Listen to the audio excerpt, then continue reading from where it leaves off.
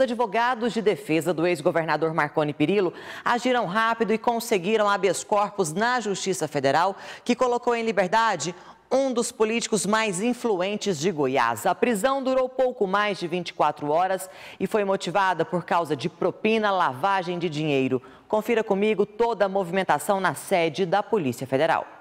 O habeas corpus para a liberdade do ex-governador Marconi Perillo foi concedido pelo desembargador Olindo Menezes, da quarta turma do Tribunal Regional Federal da Primeira Região, TRF1. A liminar foi expedida por volta de uma da tarde desta quinta-feira. Perillo estava preso desde quarta-feira. O comunicado da prisão foi durante interrogatório na sede da Polícia Federal. A oitiva estava marcada inicialmente para as nove da manhã e foi remarcada para as três da tarde tarde, mas o ex-governador chegou cerca de duas horas antes e entrou pela porta dos fundos para despistar a imprensa. A Polícia Federal recebeu o mandado de prisão a 1h54 da tarde e o cumprimento foi às 2h30. Mesmo com a prisão, Marconi continuou o depoimento que durou cerca de cinco horas. O termo de autuação justifica o pedido de prisão preventiva do ex-governador por crimes de lavagem de dinheiro ou ocultação de de bens, direitos ou valores. O documento aponta que a investigação foi iniciada após depoimentos de pessoas vinculadas ao Debreche que narram que Marconi Perillo, por intermédio de Jaime Rincon, teria recebido ilicitamente cerca de 12 milhões de reais para campanhas eleitorais ao governo de Goiás nos anos de 2010 e 2014, em troca de vantagens ao Debreche no estado, ou seja, que a empresa seria beneficiada com concessões de serviços, como a obra de esgoto sanitário na região do entorno do Distrito Federal.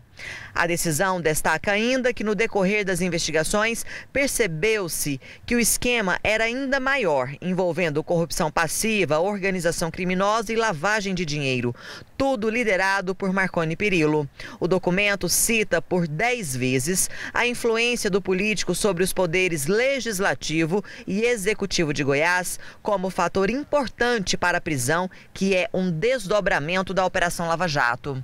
No dia 28 de setembro, durante a operação da Polícia Federal e do Ministério Público Federal, denominada de Cash Delivery, deflagrada em Goiânia, Aparecida de Goiânia, Pirenópolis, Aruanã, Campinas, São Paulo e São Paulo capital, cinco pessoas foram presas. O ex-presidente da Getop, Jaime Rincon, o filho dele, Rodrigo Godoy Rincon, o policial militar e motorista de Rincon, Márcio Garcia de Moura, o advogado Pablo Rogério de Oliveira e o empresário Carlos Alberto Pacheco Júnior. Foram cumpridos cinco mandados de prisão temporária e 14 mandados de busca e apreensão.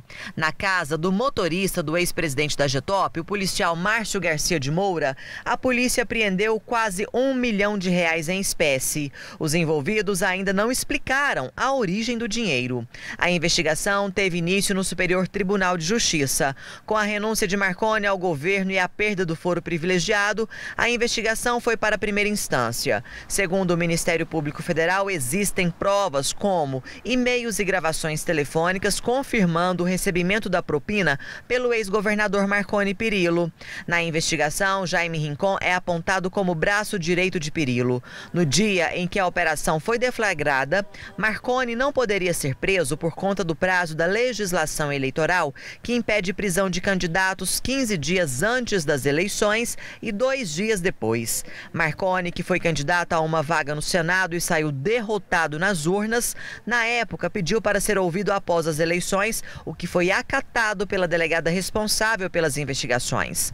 Todos os presos na operação foram colocados em liberdade. O policial e motorista de Jaime Rincon, que era o único que ainda estava na cadeia, recebeu habeas corpus na noite desta quarta-feira. Ele já deixou a unidade do Exército em Goiânia, onde estava detido.